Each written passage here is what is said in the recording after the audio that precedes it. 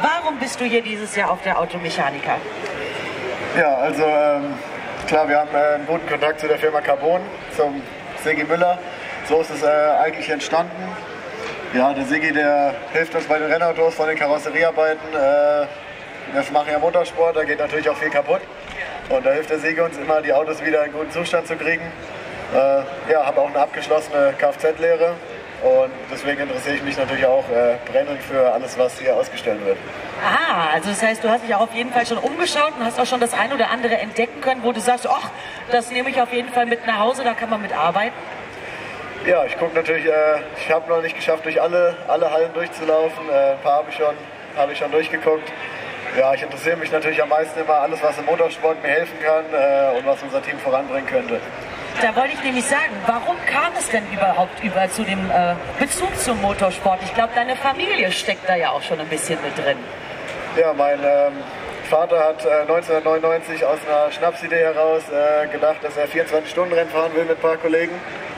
Ähm, genau, und wenn man einmal mit Motorsport angefangen hat, dann wird man es einfach nicht mehr los. Und genau, das wurde dann immer größer und größer über die Jahre. Mein Bruder hat angefangen, Kart zu fahren. Das wollte ich dann auch unbedingt. Ähm, habe ich da auch gemacht, sehr erfolgreich, viele, viele Jahre Kart gefahren, auch auf hohem Niveau, international, Weltmeisterschaften. Dann mit äh, ja, 15, 16 Jahren den Schritt ins Auto, Auto gewagt, GT4. Genau, auch da gut behauptet, hochgearbeitet bis ins GT3-Auto. Und ja, und jetzt äh, seit diesem Jahr fahren wir in der DTM mit McLaren zusammen. Also ich finde es total cool und total spannend, weil man muss es sagen, ich meine, manche Menschen haben hier vielleicht gar nicht den Bezug zum Motorsport, wie früh ihr schon im Kart sitzt. Es gibt ja teilweise Leute, die fangen da irgendwie schon mit sieben, acht, neun Jahren an. Mit wie vielen Jahren hast du angefangen, Kart zu fahren? Ich habe glaube ich, mit sechs, sieben Jahren äh, genau. saß ich das erste Mal drin. Ja. Wie schnell können denn diese Fahrzeuge allein schon fahren, diese Cars? Ja, mit sechs, sieben Jahren fahren die so um die ja, 90, 100 km/h. Einfach sechs ganz gerade so, läufst da gerade so rum, gehst in die Schule und bretterst dann schon mit 90 über gewisse Rennstrecken. Also das ist schon, aber das war wirklich auch dein Herzenswunsch. Also das war nicht so, meine Familie bringt mich da in die Fußstapfen, sondern du hast dann auch Feuer gefangen und wolltest da raus. Ja, also äh, unsere Eltern haben uns immer alles offen gelassen, was wir machen wollen. Wie schon gesagt, mein Bruder hat angefangen mit Kart zu fahren in der allerersten Runde war es eigentlich gar nichts gar für mich, aber dann irgendwann hat es mich doch auch gepackt und äh, ja, seitdem geht es einfach nicht mehr ohne. Dann ist die Frage, was machst du denn noch äh, nebenbei? Also wenn du nicht an der Rennstrecke unterwegs bist und auf dein Handwerk kommen wir jetzt gleich noch, was machst du denn hobbymäßig sonst noch, um dich fit zu halten? Oder warum bist du kein Fußballer geworden, wie es so viele junge Jungs ja auch werden wollen? Ja, also ähm, wie schon gesagt, ich habe ja meine Kfz-Lehre abgeschlossen. Ähm, deswegen am Rennwochenende bin ich 100% Rennfahrer. Unter der Woche helfe ich dann an unseren Rennautos mit, mit den Mechanikern, äh, die Vor- und Nachbearbeitung, dass die Autos wieder fit sind fürs nächste Rennen. Ähm, genau, das ist mein Job dann unter der Woche. Natürlich viel Fitnessstudio, äh, fit bleiben.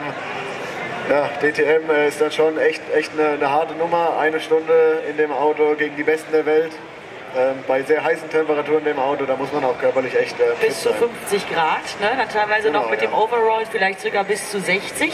Ja. Das ist schon auf jeden Fall eine heftige Leistung, was du da bringst. Und ja, wie du es so schön sagst, mit den Besten der Welt dann da unterwegs zu sein. Du bist einer davon, sonst dürftest du da ja nicht mitfahren. Aber äh, das glaube ich dir, dass man sich da fit halten muss. Viele der Rennfahrer spielen ja Golf. Ich sage ja total langweilig. Bist du auch schon so weit oder sagst du mit deinen 19 Jahren noch, ach, da halte ich mich gerne noch ein bisschen zurück? Also ein richtiger Golfer bin ich noch nicht. Äh, in der Nähe Köln gibt es äh, Top Golf, wo man nur Abschläge macht. Äh, das mache ich ab und zu, das macht mir schon Spaß, aber äh, gut bin ich nicht. Ja, muss auch überhaupt gar nicht sein. Dafür sind wir einfach noch zu jung. Dann nochmal die Überleitung zum Handwerk. Ich meine, viele der Rennfahrer sitzen natürlich in den Autos und ein gewisses Know-how musst du schon mitbringen, aber so die richtige Ahnung haben sie nicht. Was bringt dir das denn für Vorteile, dass du eben auch genau viel von deinem Handwerk verstehst und auch eigentlich weißt, was um dich rum alles ist, wo du drin sitzt? Ja, also ich würde sagen, äh, es ist ein Riesenvorteil, wenn man einfach das Verständnis hat, äh, wie ein Auto funktioniert und was auch unter der Haube ist. Als Fahrer, man muss den Ingenieuren ja auch immer Feedback geben, was das Auto macht oder was das Auto machen müsste, um schneller zu sein. Und ich denke, da ist es einfach ein Riesenvorteil zu wissen, wie so ein Auto aufgebaut ist und wie es funktioniert.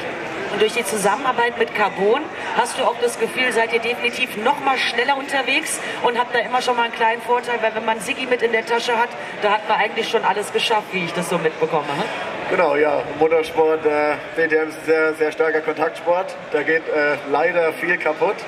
Aber Gott sei Dank haben wir den, den Siggi äh, bei uns, äh, der uns da immer sehr stark unterstützt, was Lackierarbeiten angeht oder Karosseriearbeiten. Äh, ist natürlich eine mega Hilfe. Wir haben nicht so viel Zeit zwischen den Rennwochenenden, deswegen umso besser, dass es mit Ihnen immer so kurzfristig klappt. Und dann sag mir doch mal ganz ehrlich erst nochmal Gratulation zum Abschluss deiner Ausbildung der, äh, des, des Mechanikers. Sag mir aber, was macht ganz ehrlich mehr Spaß? Oder kannst du es gar nicht sagen? Sitzt du lieber im Auto oder schraubst du lieber dran rum? Oh, ich würde sagen, eine Mischung aus beiden. Also ganz klar, ich, ich brenne seit äh, kleinem Kind äh, fürs Fahren. Aber unter der Woche auch an dem Auto selber mitzuhelfen, ist, ist eine echt coole Abwechslung und äh, beides zusammen äh, macht mir einfach mega viel Spaß. Beides zusammen. Also bist du vielleicht der, der große Rennfahrer, der auch nebenbei noch selbst mitschrauben kann. Wenn also auf der Strecke mal was passiert, kannst du eigentlich selbst rausspringen und äh, schraubst dich einfach unter das Auto und machst dann wieder ganz, was zu reparieren ist. so ähnlich, ja. so ähnlich. Dann äh, sag mir doch gerne mal, was kann man denn anderen jungen Menschen noch mitgeben? Warum ist es genau richtig, was du gemacht hast und äh, warum sollten das viele andere auch so machen? Ja, also ich habe ja einen Handwerksberuf gelernt, bin sehr, sehr zufrieden damit. Also ich kann es nur jeder jungen Person äh, weitergeben. Ich bin sehr happy damit. Ähm, ich glaube, der Handwerk ist definitiv ein goldener Boden in der Zukunft. Bin ich äh, sehr fest von überzeugt. Und ja, es hilft einfach ungemein. Der, das Verständnis im Handwerk und vor allem die Berufserfahrung, die man dem jungen Alter schon sammelt. Äh, die Türen stehen ja danach weiterhin offen, egal was man machen möchte ich finde, es hilft einfach nur, nur extrem, um äh, erstmal in die Arbeitswelt reinzukommen.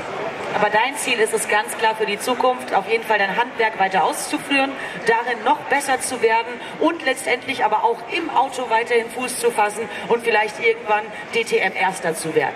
So ist der Plan, ja. So ist der Plan. Also du bleibst der Family erhalten, ihr äh, gebt Vollgas gemeinsam, zieht alle an einem Strang.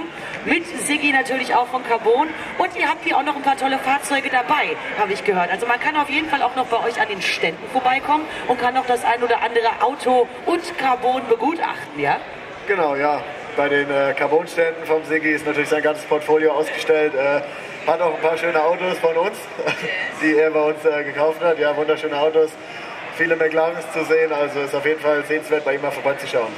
Ben, ich kann dir nur sagen, du bist ein sehr, sehr, sehr sympathischer, auf dem Boden gebliebener Mensch. Also ich wünsche dir alles, alles Gute für deine Karriere. Mach genauso weiter.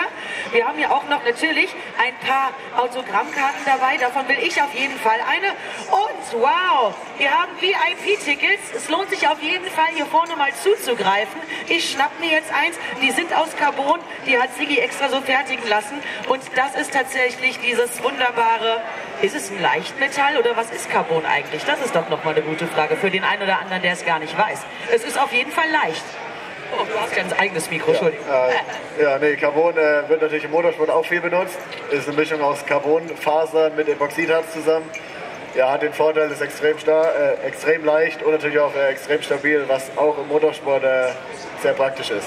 Absolut sehr praktisch, weil wenn da mal die ein oder andere Tür abfliegt und man hat die einfach, also die kann ich ja mit zwei Fingern kann ich die tragen, aber trotzdem ist man da drin geschützt. Also es ist verrückt. Wenn man mehr zum Motorsport erfahren möchte, kommt man auf jeden Fall bei Ben Dörf dabei und auch bei Siggi von Carbon. Holt euch hier, wie gesagt, gerne, gerne eure VIP-Tickets ab und auch noch die ein oder andere Autogrammkarte, weil wir müssen jungen Talente fördern. Und jetzt nochmal ein mega Applaus für meinen lieben Herr. Applaus, Applaus, Applaus, Applaus, Applaus, Applaus. Lass mich mal drücken. Haben wir gut gemacht. Der ein oder andere kommt bestimmt noch. Ansonsten verteilen wir es einfach unter den Leuten.